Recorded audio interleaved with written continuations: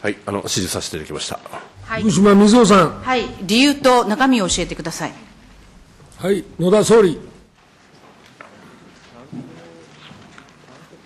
えーっとですね、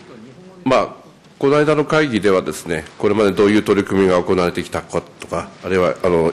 ストレステスト一時評価の等々のいろんなお話を事務的にお伺いしました。で、その上で、えー30項目の安全対策が取りまとめられておりましたけれども、それが大変ちょっとですね、分かりにくい部分がありました。それをきちっと整理をして、本当に分かりやすい暫定的な安全基準を作るようにと、そういう指示をしたということでございます。はい、福島みずほさん。えーこの判断基準30項目はいつ発表されるんですか、その基準に合致しているかどうかはいつ発表するんですか？枝野経済産業大臣。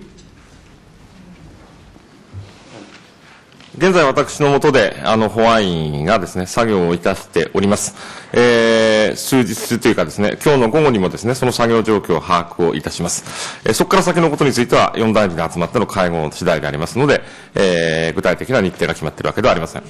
はい、福島さん。これは新たな暫定基準ではなくて、今取り組んでいることをまとめるということなんですか？はい、経済産業大臣。あの、これまで1年間にわたってですね、あの、緊急安全対策等をですね、あの、具体的に指示をして実施をさせてきているところでございます。あの、安全対策を指示するということはですね、何らかの安全の基準を満たすべく、えー、安全、えー対策を指示しているわけでありますが、あきちっと整理された形で、原子力発電所事故を踏まえて、こういう安全対策が必要だという基準をおー示して、えーで対策を指示したということの段取りになってきておりませんので、えーこれまでどういう基準、どういう考え方に基づいて、えー安全の対策を指示をしてきたのか、あということと、そしてこの間の原子力発電所事故の、えー検証を踏まえて、えーどういう教訓が得られて、どういう対策、うつまり安全基準が必要であるのかということを、あの、きちっと、あの、整理をして、えーそしてお示しをして、それが今回の事故を踏まえた、あ基準として適切なものであるのかどうかということを判断したいと思っております。委員長。福島みずほさん。はい、電源車の配置など、去年の3月末に指示して実現をしたことです。今までやったことをまとめて、なぜ新たな暫定基準と言えるんですか？はい、経済産業大臣。すみません、総理の指示や新たな安全基準という、えー言い方はされてないと思います。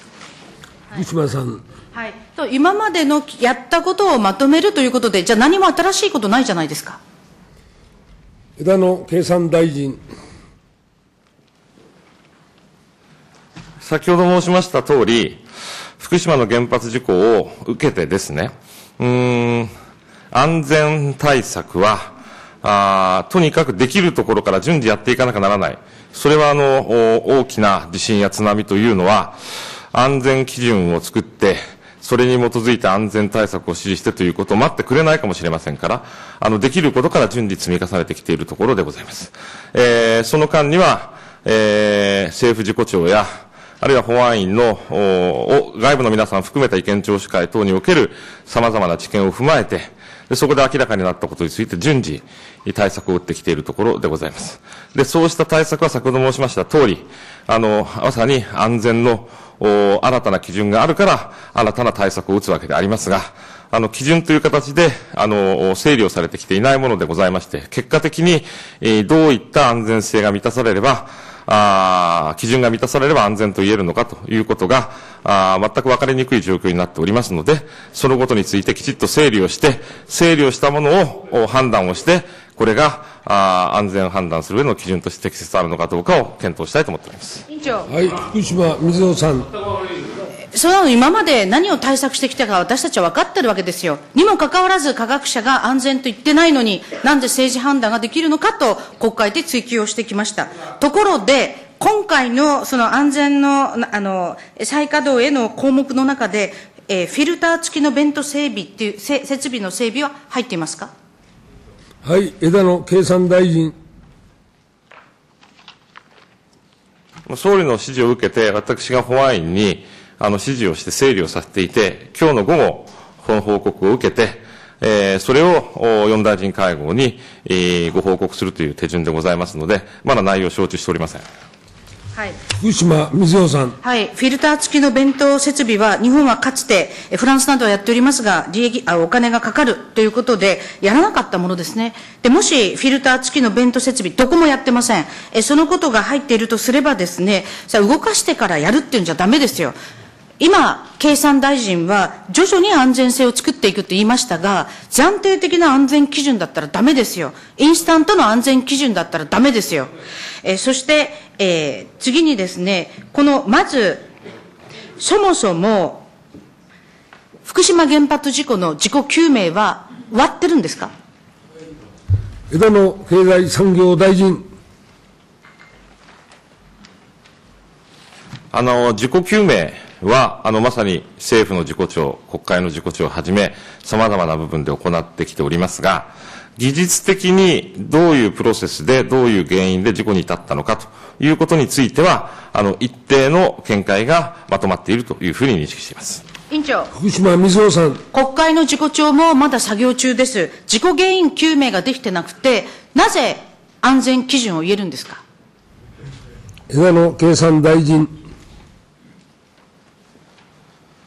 まあ、あの、事故原因ということについては、すえー行政的、社会的、様々な要因も含めて、事故の原因については、あの、様々な検討が今後もなされていくだろうと思っておりますが、あ技術的な、あー事故に至ったプロセスや、あー従ってその原因ということについては、あの、一定の見解がまとめられているというふうに承知をしています。委員長。はい、福島さん。ひどいですよ。国会の事故調こそ事故の原因に至ったプロセスを検証してるんじゃないですか？はい、枝野経産大臣。あの、様々な検証をして、えーいろんな局部局でやっているわけでありますが、それらの検証結果が、あー地元の皆さんをはじめとする周辺住民の皆さんにご理解、一定のご理解をいただけるものであるのかどうかということについては、これから判断をいたします。委員長。福島さん。京都府庁や、それから滋賀県知事も、えー各首長たち、えー新潟県知事もそうですが、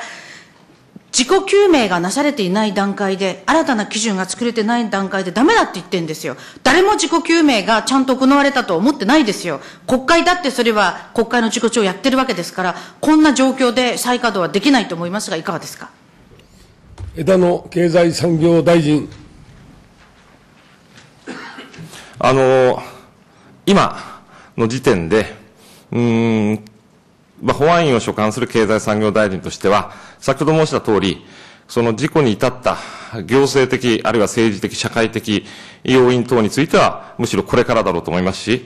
事故の拡大をどう防げなかったのかということについて、これは私もあの一種当事者でございますが、これについても、あの第三者の皆さんに様々検証していただく必要があるだろうと思っておりますが、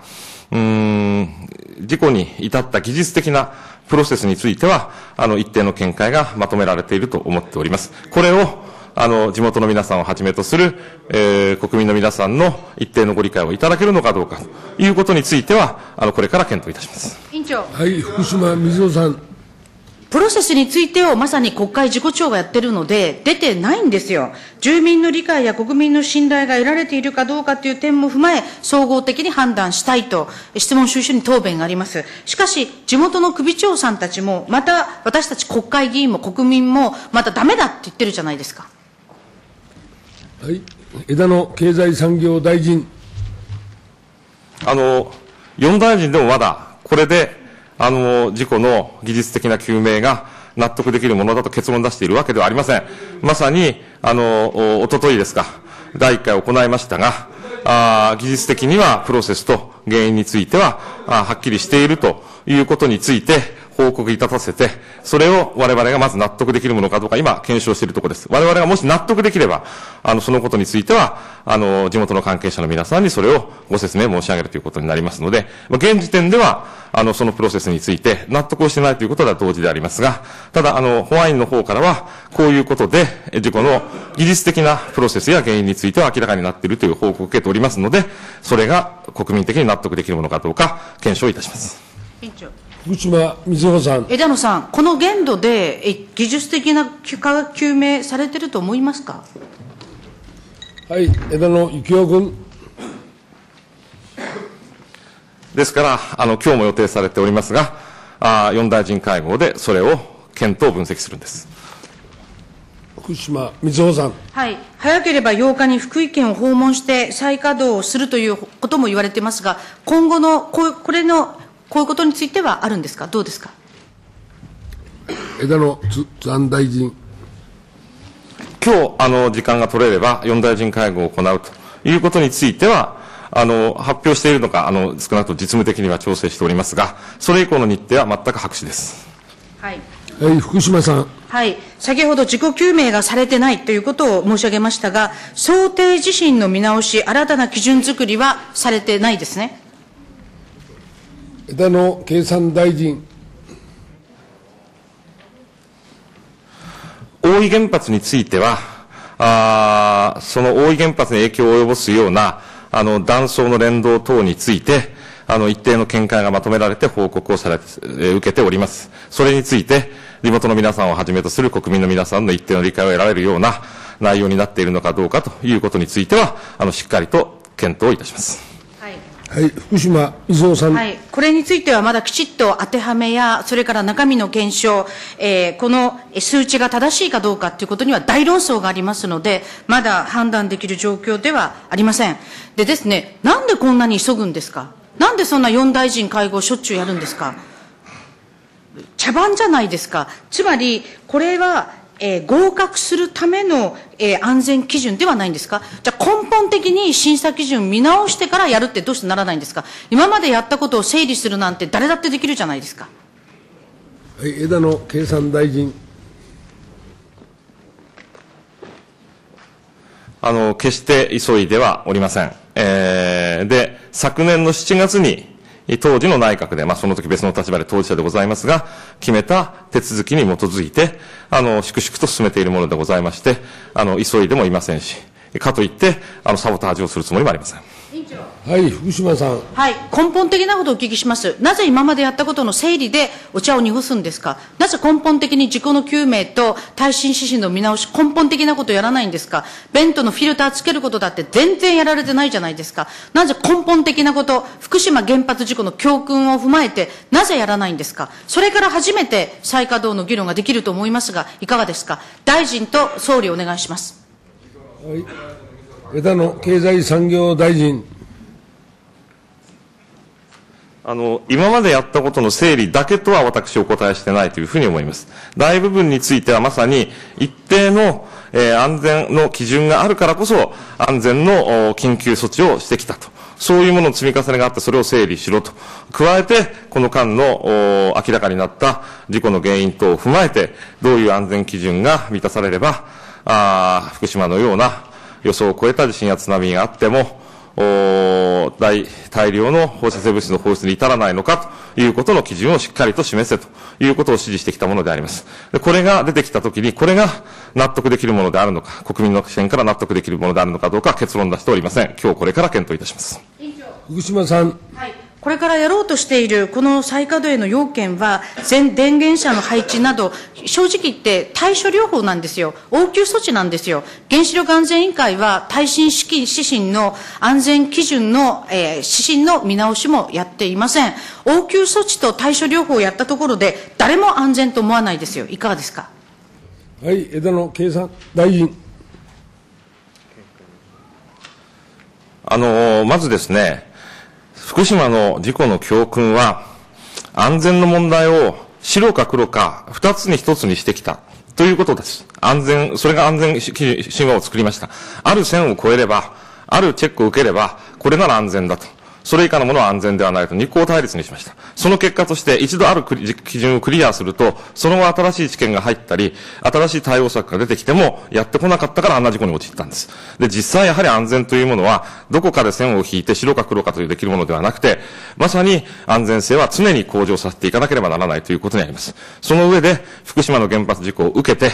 えー、再稼働にあたっては、福島のような、えー予想を超える大きな地震や津波によって、福島のような大量の放射性物質の放出に至るということはないということは、きちっと確認をしなければ前に進むつもりはありません。委員長福島みずほさん。福島原発事故は、科学者たちやいろんな人が危険性を指摘しているにもかかわらず、それを踏みにじって原発推進してきたことが福島原発事故の教訓です。